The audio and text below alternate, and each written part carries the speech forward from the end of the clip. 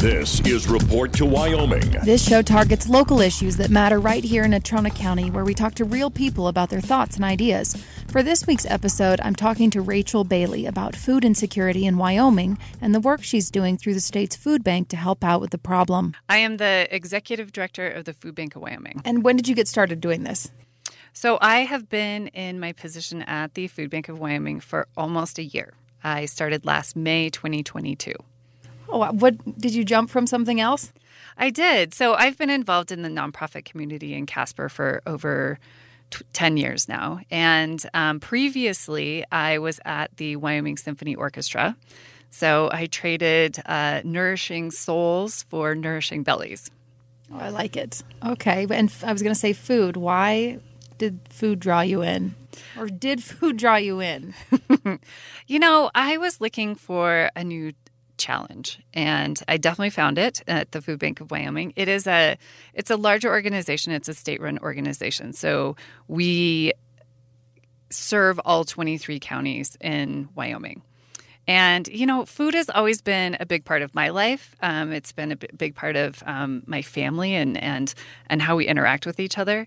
And i have traveled a lot um, around the world and i have observed how in other cultures there is uh, food insecurity and you know realizing after you look around a little bit here that there's food insecurity right here in our own backyard. Um, and it's just something i think that you know a lot of the a lot of my focus um, since i returned home about 13 years ago is building um, or helping to build healthy and vibrant communities in Wyoming. And I think that, um, you know, food is one of the most important things that people need. I mean, it's a basic need, but also, um, how can you be a contributing member to a community um, if you don't have enough nourishment? So I wonder how much our climate um, plays into this. I would imagine it does. You know, I mean, I Wyoming is a, has has its own very unique challenges in trying to distribute food across the state. And one of those unique challenges is that, you know, we don't grow a lot of food for humans in Wyoming. We grow a lot of food for uh, cattle and sheep, um, but we don't grow a lot of food for humans. And, you know, part of the reason of that is because of our climate, our soil. Um, we have a very short growing season. Um, so, you know, that is something I do feel is changing and evolving like very slowly with the advent of there's a lot of um, community gardens and greenhouses that have popped up, and there's a real emphasis on food sovereignty and, you know, kind of things like that. But, you know, we're never going to be a Palisades, Colorado, or we're never going to be a California or Florida um, where a lot of growing happens. So, yeah, it could contribute to that. And so when we're growing the food for the animals. One might argue that then we are still growing food for our bellies because we are cows, meat, mm-hmm. all of that. But in terms of vegetables and fruits, it might even be something of a food desert. And so it's definitely improved a lot. I know I'm going to talk to Jamie Purcell about the status of a co-op down the road, but yeah, it's it's going to be harder. And personally, I know just growing, trying to grow my own herbs and vegetables in the summertime, it's such a short window that you have, and the yield well, I haven't been terribly successful, but I go to the farmers markets, and some people are doing a lot better than me with that. So. Oh, and the advent of farmers markets um, has been incredible. I also go to the farmers market, and I also receive a um, I receive a box of food every month um, through Eat Wyoming, which is really great. And it's grown here in Wyoming and able to support um, uh, Wyoming growers. And, um, you know, and I think that anything that we can do to encourage those things um, will be better off for all of the communities across the state. Um, and you know, back to saying that Wyoming is a is a food desert. Um, yeah, I mean it, it can be very much because of the rural nature of the state and the long distances in between communities, and because the rural nature of communities. Um, you know, some communities only have a convenience store, and that's what they have. Um, you know, to where to access food. And if you don't have the ability to drive long distances, um, if you can't afford that um, or if you don't have the transportation, then it can be very challenging getting food um, right. in the state. Yeah, my twin sister lives over in Sublette County, and at least once a month they make a big trip to the nearest Walmart, which is 2 mm-hmm. hours away in Rock Springs. Mm-hmm. And so you get your giant, you know, fill up as much as she can in her vehicle, basically, and then comes home. But otherwise, you shop at the local stores like Bernie's. Shout out Big Piney. Um, but it's more expensive. Yeah. You don't have a lot of variety. They could drive. Jackson is a little bit closer, um, but sometimes the roads are so bad in the winter that you don't want to risk it. So, yeah. Yeah, and I'd say that um, you know, uh, cost, transportation, um, you know, weather, you know, all of those things are barriers to can be barriers to food access for some people in Wyoming. I got a press release a few weeks ago about the elderly community and the need there is for them here in Casper. Can you speak to kind of what we're looking at numbers wise, the volume of hunger, if you will? No. Okay. So let's go. Let's do it this way. Okay. So so according to U.S. Census data and a Feeding America, like a large national Feeding America study, about 11% of Wyomingites suffer from food insecurity. Okay. So it's roughly about 61,000 people across the state. So I mean, you know, this it's a, it's a pretty sizable portion of our population. And within that, you know, um, there's no age discrimination to food insecurity. So, you know, that covers um, kids, you know, young adults, adults, and then older adults. There is a larger population of older adults that can suffer from food insecurity because a lot of them are on fixed incomes. So, and when that income is not flexible, then when you have things like inflation or you have a health event or your car breaks down, eh, things like that, then what sometimes then does become more flexible is your food budget. And, you know, and when we talk about food insecurity, um, food insecurity is not necessarily being hungry. Uh, food insecurity is defined as a lack a lack of consistent access to enough food for an active, healthy life. So, so a lot of people are not necessarily food insecure all the time, um, but they can have events in their life where they become food insecure. And so, you know, what does that look like? That means that you know you go to the store, and because you have maybe a more limited budget, your food budget is more flexible, and so maybe you're going to choose less nutritious food um, because it's cheaper, or maybe you're going to skip a meal altogether. So that is where you know food insecurity differs a little bit from hunger, you know, because hunger is is actually a personal physical sensation of discomfort, and then again, food insecurity re- refers to a lack of available financial um, resources for food at the household level.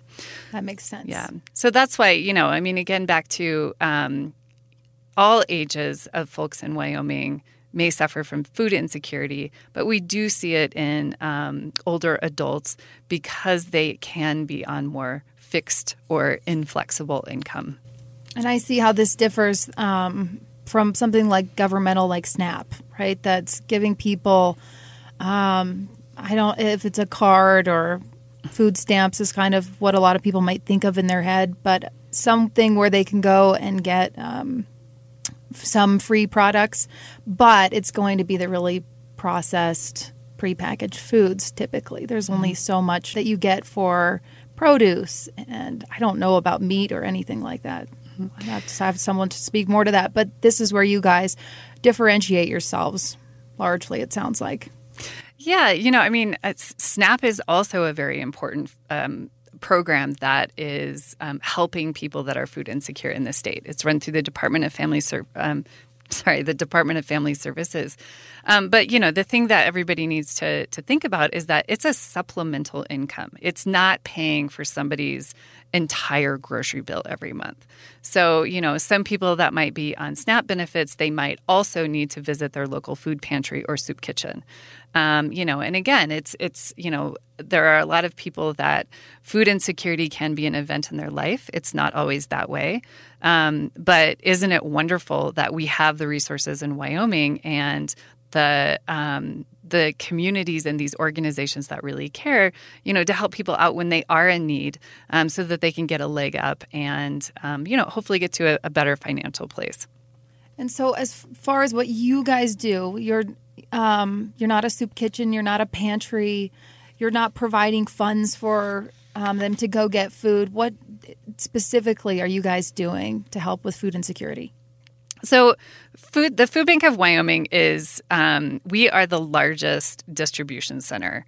Um, and we're the largest distributor of what we call like emergency foods or you know foods to those in need across the state so we serve all 23 counties and um, we've been addressing food insecurity in um, out of our casper distribution center for about 20 years and what how we do this is we provide food and necessities to people in need um, through um, we have signature programs that directly serve food to people, and then um, we also team up with hunger relief partners across the state.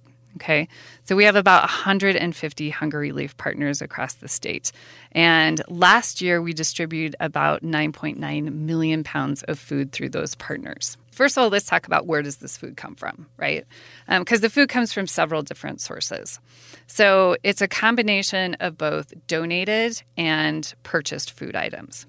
Food is donated to us by national and regional manufacturers, distributors, and retailers. For instance, one of our biggest uh, donors right now is the Walmart Distribution Center outside of Cheyenne.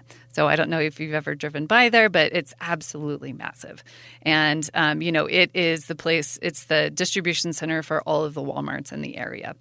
And so we get, you know, uh, food items that maybe they were slightly damaged, or uh, maybe they they're coming to the end of their shelf life. So it's it doesn't seem um, like if they distribute it to another store, then maybe it would come to the end of its life more quickly. You know, kind of things like that. So it's perfectly great food. Um, it's it's perfectly safe food, um, and so we then it's delivered to our distribution center, and then we then deliver it across the state um, in our trucks. We also provide a cooperative buying service which augments that donated product. So, because we are part of a much larger food banking network through Feeding America, we are able to purchase food in bulk, which allows our dollars to go so much further than like if you were to buy it at the grocery store. So, in fact, like about $1 equals three meals. So that's kind of the purchasing power that we have, um, you know, with this with this national network. So partner agencies are are able to you know go into a system. Uh, it's a web based system. They're able to select the donated product that they want, and then they're also um, able to select purchase product, and then um, they reimburse us for that purchase product at about the same price that we that we buy it. Additionally, Food Bank of Wyoming works with the Wyoming Department of Family Services uh, to distribute USDA commodities. Um, so the, this is a you know larger federal program where um, they purchase food from national growers and manufacturers, and then that food. Um, uh, we work with the state, and then that food comes to the Food Bank of Wyoming, and we actually distribute it. So one of those programs is the Emergency Food Assistance Program, and then we also have the uh, the Commodity Supplemental Food Program for older adults. And you know that one is geared specifically towards older adults. It's a uh, a box. It's a recipe that has come up um, that, that, that they come up with, and it has you know proteins and um, you know fruits and vegetables and grains in it. And um, those boxes are actually pretty they're pretty hefty. I mean it's a pretty good amount of food. And we di- distribute those boxes to um, a certain group of people. Um, they're all above 60 every month we also then have a robust grocery rescue program in all of our communities across the state. So, you know, we work with national partners, kind of like Albertsons, Safeway, Maverick, Sam's Club, Loaf and Jug, um, and Walmart. And we connect our local partners directly to those retail stores. And so then they can go and pick up food that is, um, again, nearing the end of its life or has been slightly damaged or perfectly good food that um, they can distribute out to, um, to those people um, and need. And then we also um, we also purchase a lot of produce from national and local suppliers. Um, so our goal right now is to have about forty percent of the food that we distribute to be fresh produce because you know, I mean it's the it's the best way that we can provide um, healthy, nutritious food um, to communities across the state. So you know that kind of gives you an idea of of where it all comes from.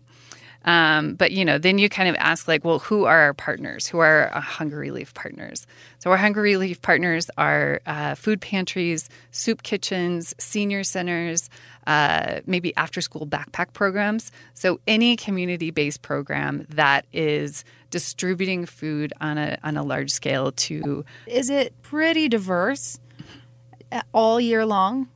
Yeah, we have a we have a there's there's a pretty wide range of food that we get. Um, you know, we try we we really focus on healthy foods, um, but you know, within healthy foods, there's a lot of different things you can get. So you know, there's grains and um, legumes and produce and you know like fruits and vegetables. And you know of course we have snack food. Everybody likes a little bit of snack food here and there. We have a lot of protein. We have eggs dairy. So yeah i mean it's it's a pretty wide range of food. Um, i think i looked yesterday morning and we had um, probably like over a hundred items that were listed online for our partners to choose from it's almost like in Europe they call it gleaning, um, kind of taking care of what would otherwise just go to waste. And so it definitely mm-hmm. serves that purpose too. So it's refreshing, even if you're not someone who is the you know benefactor of this, but just thinking that someone's taking care of all this excess food.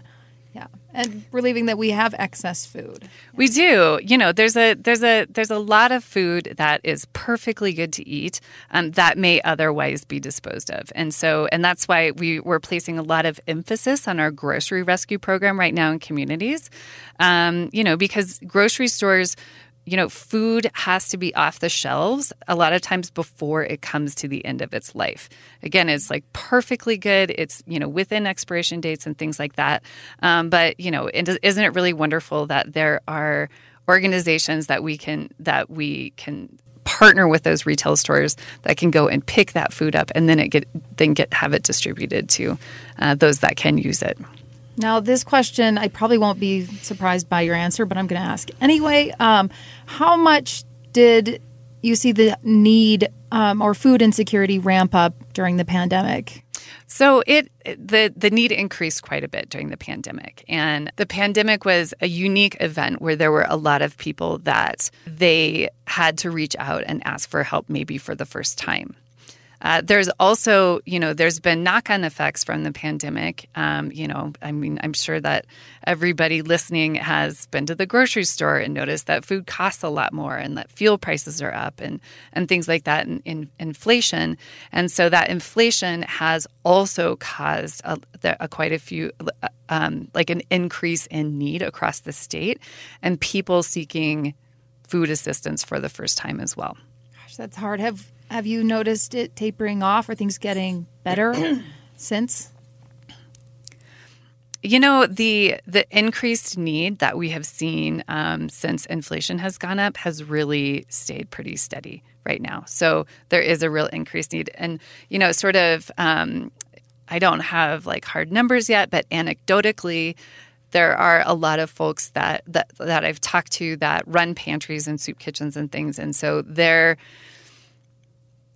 the number of households that they are serving have increased by anywhere from 50% to 100%. Um, and that kind of started last summer, and that has kind of remained stable.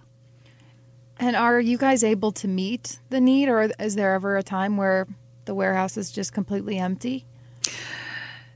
Well, we got, I'm going to, I will admit, uh, it got a little bit thin um, when there was with all the supply chain issues. So, you know, I mean, just as what you see happens in the grocery store, you know, we feel those same effects at the food bank. You know, so if there's like a run on toilet paper, we probably don't have any toilet paper either. Um, so, you know, a lot of things, there was, um, you know, there was a really hard time finding uh, tin cans and so uh, the industries had to like kind of switch to putting things in pouches. And so there's been a lot of change in manufacturing practices like um, that happened as a result of the pandemic.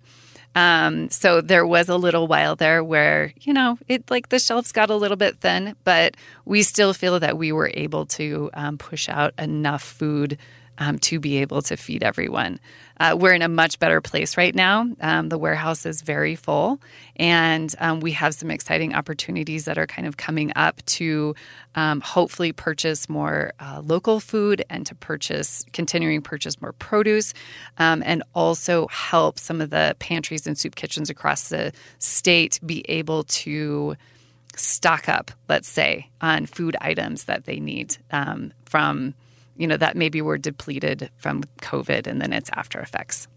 Have you noticed that there are trends across the state where some areas may have a greater need for food than others?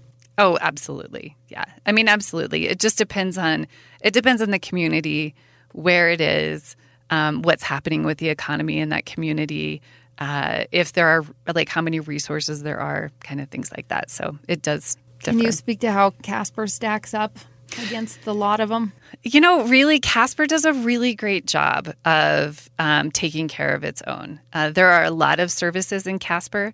Uh, and I would say that if you are not able to find what you need or get the resources that you need, uh, then you're not asking the right questions because there are a lot of services here in Casper. Casper does a great, and you know, I mean, I should say across the state, um, communities care so much about the people that are in them. And um, you know, I I am I have been consistently surprised and just delighted as I've been traveling across the state, meeting all of our partners.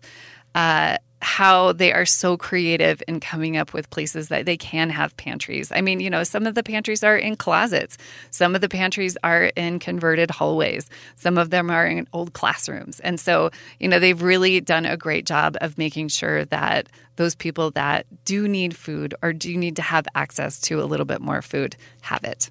Oh, that's good to hear. And, awesome. Yeah. Go Casper. Yeah. Okay. Good. Now, what's the worst one? No, just no, just kidding. Don't throw anyone under the. I wonder though if the rural communities maybe you see them struggle a little bit more just because there is um, maybe less people, less economy, that kind of thing. Yeah, well, I mean, I think that you know that's what I was kind of talking to a little bit, where it's like these these um, you know communities that are really taking care of their own creatively and using all of the resources that they can. There's just there's so many caring people across Wyoming, and so you know in every small community there is a pantry somewhere there is a way for people to access food somewhere. And um, you know and in in communities that might need a little bit more support uh, the food bank of wyoming what we have done we've we've really ramped up or increased our mobile pantry program across the state. And you know so pre-covid we had about four or five mobile pantries. And mobile pantries you know basically it's a truckload of food um, and we determine how much food kind of based on the population in the community community. And we've really targeted um, rural or remote communities that might not have as much support as other places. And that support, you know, meaning like their pantry is not open all the time, or the pantry doesn't have enough space to store, uh, you know, a whole bunch of food, or um, maybe they don't have enough people for to volunteer, you know, kind of things like that. So we've tried to supplement with mobile pantries that show up once a month. And, you know, it's a big box of food um, with a whole bunch of um, produce that we, um, and, you know, distribute these in fairgrounds and in church parking lots and, um, you know, across the state. So we have about 19 mobile pantries right now. I'm almost jealous because it seems like such like rewarding, fulfilling work. oh, it's it's so much fun. And honestly, I mean, you know, I went to um, the Rawlins Mobile Pantry. Um, last spring and it's almost like a party. I mean, everybody, you know, we you know unload all the food and set it out and you know there's a whole bunch of volunteers there and they're excited and um, clients they line up in their cars and you know it's just really fun to meet everybody and hand out this food. And um, you know it's just it's kind of like a celebration of food. It's it was just a wonderful experience this has surely got to affect you just at home when you're cooking and thinking about food. And are you, would you say that, or I guess, in what ways has it affected you? Uh, yes, absolutely, it's affected me. You know, honestly, I'm so much more conscious about waste. I'm so much more conscious about cooking what is in my refrigerator and cooking, you know, what's in my pantry. Um, but then I'm also very conscious of, um, you know, how we can utilize some of the food that we have in the warehouses or the food that we have in Wyoming to try and teach people um, how how to um, incorporate them into their diet. So, uh, one great example is um, through the USDA Commodities Program, we get a lot of lentils. Okay, so you know not everybody knows how to cook lentils. So we also have a really great partnership with. Um, Sensible Nutrition, which is a University of Wyoming extension program, and the uh, Sensible Nutrition, there is a, I think there's one in every county. And what they do is they actually help us create recipes for some of those food items that um, people might, might not know what to do with, like lentils. Um, and then they've also put together a program where they're providing Instapots um, you know, you have to go through a training and understand, um, you know, it's kind of a nutrition training and then also a, a training with the Instapot. Um, but it's a great program. So it's like you have not only the tools to cook the lentils, but then you come away with some really great recipes and um, understand how to use them because it's such a it's such a healthy, wonderful food. Um, but if you don't know how to cook it, then um, it's kind of hard to accept it and vegetables, stuff mm-hmm. like that. Yep. Yeah. Oh yeah. No, they we help us the out. box too. And yeah. I do a lot of smoothies and a lot of. Yeah. I'm not a great cook, I confess. So I'm like, all right, I'll just juice it. I can drink anything. I just, you know. Well, I'll put you in touch great. with the uh, Sensible Nutrition recipe site because there's a whole bunch of great stuff on there. Okay, because that's I think a challenge for people, and that might be cultural too. I know um, when I was a kid and I grew up in Wyoming, it was very much meat and potatoes. But that brings me to my next point. Before I forget, potatoes. Potatoes are a big part of what's filling these boxes. Am I right? Yeah. No, we had potatoes, onions. You know, um, root vegetables and any sort of. Um, vegetable that has a longer shelf life. Um, so carrots, onions, potatoes, cauliflower, um, even things like kale, um, those are all very desirable for us to purchase because we're able to bring it in and then get it to our partners on trucks, and then they're able to distribute it. And we it has a better chance of you know lasting and getting to the client, and then they have enough time to actually be able to cook it. I think it was in the fall I was reading that you guys had received just like so many pounds, I don't remember the number, of potatoes from Idaho. Would you uh, do you think, or would you say that you work pretty closely with the neighboring states too? So actually, so I'll I'll correct you a little bit. So we actually those were Wyoming potatoes. Oh, Yeah. So no, it was very ex- ex- exciting. So that was also it was another great. Um, partnership through the University of Wyoming. So the University of Wyoming, their uh, extension programs, they have all of these great uh, like experimental farms and you know teaching farms and things like that that they they grow produce on. And so one of the one of the farms it's outside of Lingle, and um, it's a big potato farm. Right. And so they allowed us to come and dig up and bag as many potatoes as we could. And so, uh, Sensible Nutrition actually helped us get a whole bunch of volunteers, and we were able to bag 10,000 pounds of potatoes and bring them back to the Casper Distribution Center and then get them out to um, partners across the state. So, you know, we are always looking for partnerships like that. Um, you know, we love to. Uh, be able to feed people Wyoming grown um, you know produce or cattle or you know whatever. So we're always looking for opportunities like that. And then for protein are you able to get a lot of meat to people or is it mostly protein in the form of beans and? No we distribute um, no we distribute a huge amount of of like chicken beef pork um, you know and it is it is definitely something that we could increase in Wyoming. Um, but you know, we are we are definitely working on that. Um, you know, there's a there's a there's a few programs that through the USDA that um, they have grant funding where we can purchase more local items. And so, what I'm really hoping to be able to do is to be able to purchase more Wyoming beef um, through that program. So, we'll see. Fingers crossed that we get the grant. I'm going to make a radical suggestion.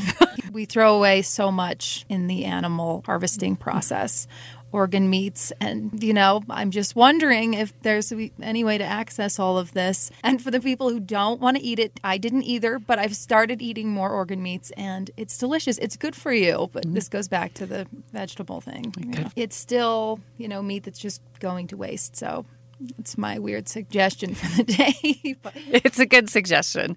Um, you know, and that's why I think that uh, to your point, we try and have a a huge variety of foods so that people can select what they do want to eat. Um, we think that that's really important um, for you know for folks. Yeah. yeah. and certain people have diet restrictions and everything. Mm-hmm. So, yeah, is it easy to? I guess it's probably not easy, but can you accommodate those like gluten free and? Oh yeah. yeah. no, and you know some pantries. Um, there's actually a there's a wonderful pantry in Afton, Wyoming, and they have actually color coded their pantry shelves shelves so that you can see what is gluten free, what is diabetic friendly, um, what has low sugar, low sodium, kind of all of those things. So um, that was a really cool and innovative way I thought to help people uh, shop based on their dietary needs. Is there anything we didn't really talk about or touch on that you wanted to? We didn't get um, into insects either, but I said I would only give you one weird suggestion. This, this is a food um, source, okay? It is a food source. As far as global hunger goes, that's right. No, know, it's just like huge. Well, I think you know. I think that I think the important thing for Wyomingites to think about, and you know, I think Wyomingites are really wonderful, caring people that do think about their neighbors. And you know, just to think about the fact that there are 11% of people, and and and actually right now that it could be more. So those are those are stats from about 2020. Um, and as I was mentioning, the there has been an increased need, but 11% of Wyomingites do su- suffer from um, food insecurity. So it's a it's a real thing that's happening in our state. Um, there are a lot of incredible organizations out there that are you know working on this. So you know what I I encourage people to do that want to help. There's you know some easy ways that you can do that. Actually, uh, first of all is to donate to your local food pantry or soup kitchen. Um, and that can be a monetary donation or a food donation. Um, the other thing that you can do is volunteer. It takes a huge amount of people to distribute food across the state. And, you know, your local food pantry, um, we also have the, the, mobile pantries that I was talking about, 19 mobile pantries. That's a great volunteer opportunity um, around the state. And then, of course, you know, we also have volunteer opportunities here in our distribution center as well. Um, but you know, and I think that you know, then the other thing too is just you know, pay attention. Like if it looks like your, um, you know, neighbor's not doing so well, like take them a casserole.